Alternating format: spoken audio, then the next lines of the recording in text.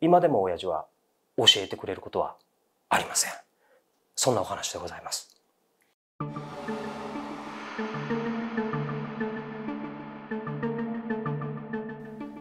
どうも、島田秀平です。始まりました、島田秀平のお階段巡り。皆さん、今回も見ていただきましてありがとうございます。えぜひ皆さん、えメンバーシップの方よろしくお願いいたします。そして、えチャンネル登録、グッドボタンもよろしくお願いいたします。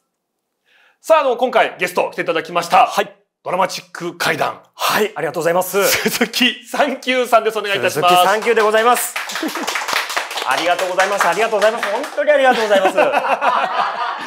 うるせえな、今回も。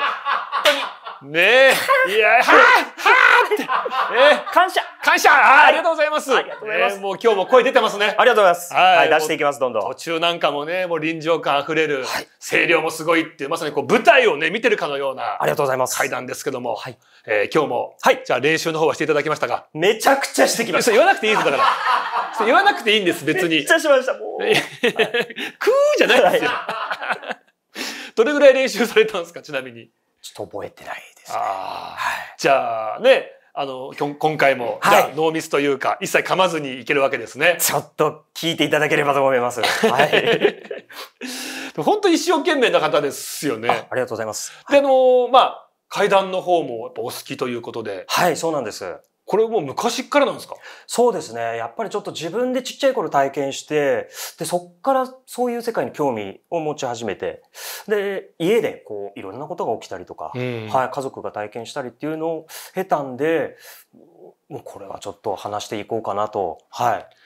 すごいですね。あの、それで好きなだけじゃなくて自分で話していきたくなったっていう。そうですね。階段を話すこともやっぱ楽しいんですね。楽しいですね、やっぱり。はい。聞いてくださる方がもう本当にありがとうございます。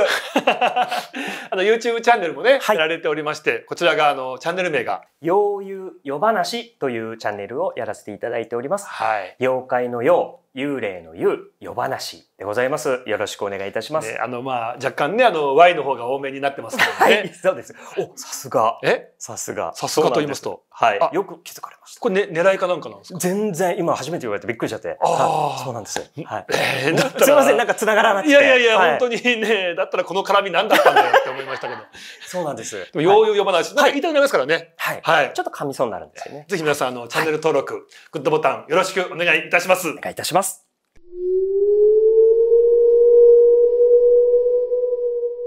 えー、このお話も、まあ、あの、ちょっと実家に帰った時のお話になるんです。まあ、僕、今、千葉県に住んでいて、で、実家は埼玉県にあるんですけれども、で、久しぶりに親父の家に帰ったんですね。で、もう今からもう10年以上前の話にはなるんですけれども、で、実家に着いて、そうすると親父が僕に、おい、ちょっと車に乗せてけって言うんですよ。はい。で、あれ？どっか行くの？ちょっと乗せてってくれ。お、わかった。いいよ。で、まあ、僕が運転して、で、親父が助手席に乗って出かけたんです。うん、で、まあ、ホームセンター行ってくれとか、スーパー行ってくれ、まあ、あそこ行け、ここ行け、あ友達ん家に寄ってくれ。まあ、いろんなところに行かされまして、うん、帰りはもう夜になってたんです。で、じゃあそろそろ帰るかっていうことで、実家に向かう道、まっすぐの国道を走ってたんですね。はい。時間は夜の9時ぐらいだったと思います。そんな遅かったんですね。はい。そしたら突然、助手席に乗ってる親父が僕に向かって、払えよって言ったんです。何ですか払えよって言ったんです。払えよ。はい。で、え？って言ったら、払え払え早く払えいいから払えって言ってるんです。で、僕びっくりして、え？何がいいから払えよこんな取り乱した親父、今まで見たことなかったんですよ。ええ、で、僕、なんかお金を返せ、お金を払えって言ってるのかなと思ったんですけど、そんなこと考えてる間にも、いいから払えよすごいんですよ。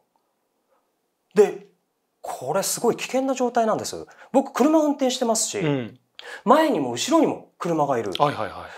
もう下手すると、これ大きな事故につながるかもしれないんですけど、こんな危険な状態で数百メートル走って、そしたら親父が突然、ああ、よかった。ああ、助かった。離れた。って言ったんですよ。うん、で、この時に僕、あっと思ったんです。そうだ、親父見える人だったと思って。この言い方だと、車にじゃなくて、何か僕にとんでもないものがついてたのかなと思って、もう僕も怖くなってきちゃって、えーなんだよ、親父。え、何がついてたの？聞いたら、何でもねえって言うんですよ。いや、何でもねえじゃないよ。あれだけ払え払えって言ってたでしょ。何がついてたの何でもねえよ。いや、教えてよ。何でもねえよ。何でもねえよ。そのうち怒り出して。だから何でもねえって言ってんだろ。世の中にはな、知らなくていいこともあるんだよ。って言ったっきり、一切教えてくれなかったんです。うんうん。で、それからまたしばらくして、僕、実家に帰ったんですね。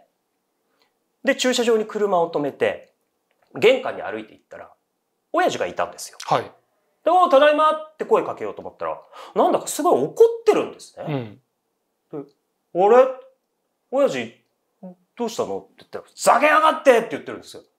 でなんだよって。何怒ってんの？ふざけやがって、あ、よしの野郎がよって言ってるんです。で、よしっていうのは僕の弟なんですけれども、もうその当時、おじいちゃんおばあちゃんは亡くなって、で、妹がいたんですけれども、妹も結婚して嫁いで家から出てしまって、弟と親父の二人暮らしだったんです。はい。で、その弟のことをなんだか怒ってるんですよ。え、何よ？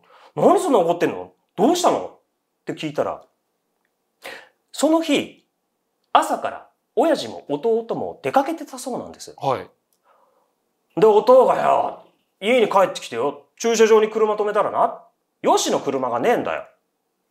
あ、まだ帰ってきてねえんだなと思ってな、玄関に行ったんだよ。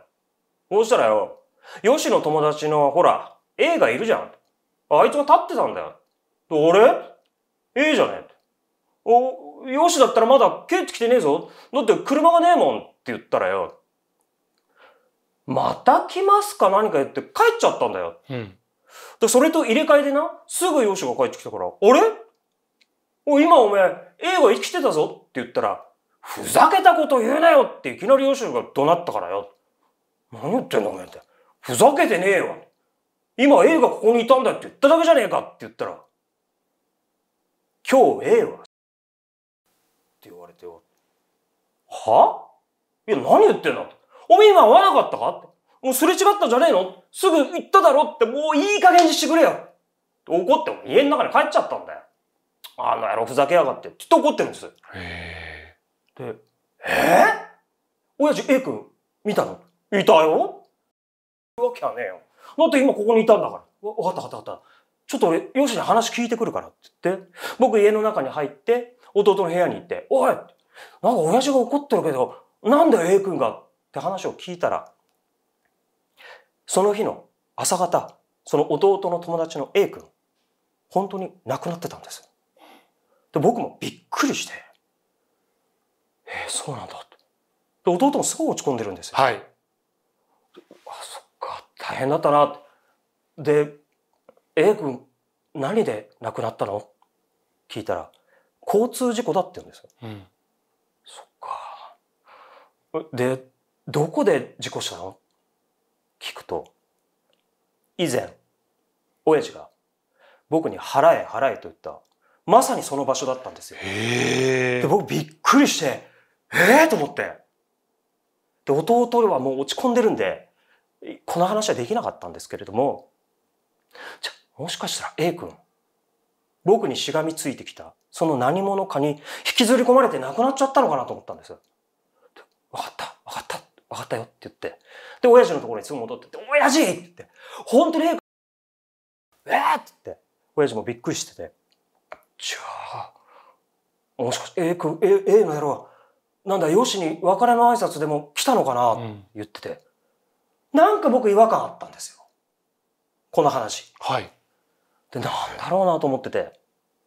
で、まあ、後々、ちょっと弟には詳しくこの話を聞こうかなと思ってたんですけれども、それからしばらくして、弟も病気になって、え、あの、サンキューさんの弟さはい、んですか？そうです。だかはい。らこれ僕、今でも思ってるんですけど、A 君、何か伝えに来たんじゃないかなと。弟に。何か言いたかったんじゃないかなと思うんですけれども、それは帰結姉妹だったんです。そして、あの時、親父と車に乗ってる時にあの払え払えと言った、僕にしがみついていたものの正体。これ、今でも親父は教えてくれることはありません。そんなお話でございます。その A 君がはい。事故で亡くなられてしまってはい。でその後弟さんもお亡くなりになってしまって、そうなんです。そすぐの話なんですか？まあ、2年ぐらい時間があったと思いますけれどもちょっと病気になってしまって、はい、どんどん弱っていって入退院を繰り返してでいう感じですね。残念ですね、はいそうなんですねあのその道なんですけどはい払え払えっていう、はいその後そこまた通ることってあったんですか？あります。でもその時には特に何も？何もないです。お父様と一緒にそこを通ることは？ないです。ははい。その払え払えって言われた時って何かこう体に異変とかありました？全くなかったんですよ。僕もうびっくりただびっくりしてただけで何をこんなに言ってるんだろうと思って。はい。でもそれだけ血相を変えて言うってことは本当に良くないものが引きずり込もうとしてたんですかねそうだと思います。よくこういう類の話の時っていうのは、はいもう幽霊とかではなくもう魔物はい。みたいなはい。もうものがいて無差別にうんあの世にこう引っ張っていってしまう恐ろしい存在がいるって話聞くんですけど、はい。なんかもうそれに対してはもう本当に恐ろしい存在なんでお祓いもできないしっていうもしかしたらお父様はそういうものだからなんかこう口をつぐんでいるのかなとかもね思ったりもしてしまいましたけどね。はい。まあ何か言ってはいけない、口に出してもいけないのかなと。うんはい。で、お前は知らなくていい。知る必要はないって言うんです。はい。なんかちょっと良くない存在がはい。でもそこの場所っていうのはその後やっぱ事故が多い場所とか事故はだったり多いみするんですか？たいですね。ははい。うんなんかあるんですかねその場所って曰くとかそうですね。のいわくは僕は聞いたことはないんですけれども、でも交通量はすごい多多いところなので、皆さん誰もが取り憑かれるとか引きずり込まれるっていうわけじゃないんですよね。だどういうことで選ばれてそうなってしまうのかちょっとわからないんですけれどもい、や本当にこればっかりは運なのか、はい。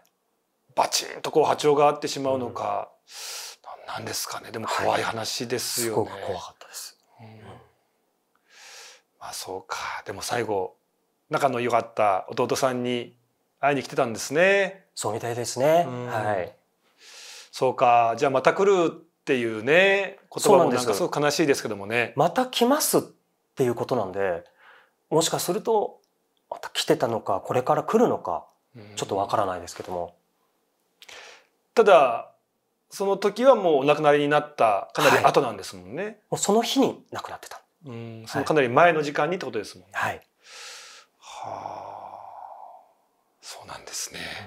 いやありがとうございました。はいちょっとねなんか弟さんの話なんかもねあ,、あはいってとてもちょっと辛い話だったんですが、はい。いやでもお父様ってやっぱりすごく見える方なんですね。そうですうんね。ちょっと僕もあまり気にしてはいなかったんですけれども、またなんか言ってるよぐらいに思ってたんですけれども、だんだんと話を聞いてると、いや、この人本当に見えるのかなっていうふうに思い始めまして。はい。サンキューさんは今ちょっと見えるって話ありましたけど、はいその力がどんどん強まってるみたいな感覚ってあるんですか？あの、すごく波があって、波があるんだ。はい。そういう体験をするときと、全くなくなるときと、はい。それは時間はもうバラバラなんですけれどもこれよく聞くんですよ。はいなんかババキバキにっはい。ていう時もあれば、ありますーなんか最近見えないなっていう時もある。はい。それってご自身の感覚的にどういうことが関係してるとかって全くわからないです。わかんないんですか？はい。はあ。なんかこう階段の仕事が増えてきたなって時に見えやすくなるとかってわけでもない。か、あんまり関係ないと思います、僕は。なんなんでしょうね。はい。いや、なんか聞くんですよね。はい波があるっていう。あります。だ時間が空くと、もう何年も何もなかったりとかっていうのがあるんですけど、忘れた頃にやってきます。はあ。いや、でもちょっと不思議な。はい。またね、あの、体験談も多いですけども、あのね、最近取材された話なんかもたくさんあるということで、あ、そうなんです。はい。まあどんどんどんどんあのお話をいただいていて、あの、YouTube の方に使ってくださいということで、本当にありがとうございます。これなんでこう、皆さんにこう階段を伝えていきたいっ伝えていかなきゃって思われたんですか？やっぱりまずはその僕自身にあった話で家族の話家の話っていうのからスタートはしてるんですけれどもこれをちょっと残していきたいなということから始まってるんです、ね。まあ、前回の話も前々回の話もねちょっとその地元の伝承にまつわるような話だったりとか、はい、あとはねあのもう多分これ語り継がないともう多分忘れ去られてみんなが知らなくなっちゃうんだろうなって話でしたよね。とんでもない話でしたけど。はい。どうしてもやっぱり、まあ、この言葉合ってるかどうかわからないんですけど、もったいないというか、うこういうことが本当にあったんだよっていうことはちょっと、あの、伝えていきたいなと、はい、思っております。いやこれからもぜひ、はい、よろしくお願いいたします。ありがとうございます。はい、YouTube チャンネルもう一度お願いいたします。はい。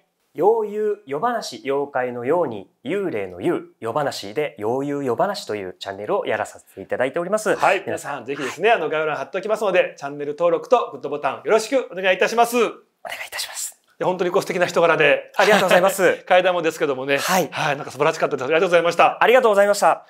というわけでゲストは、鈴木三九さんでした。ありがとうございました。ありがとうございました。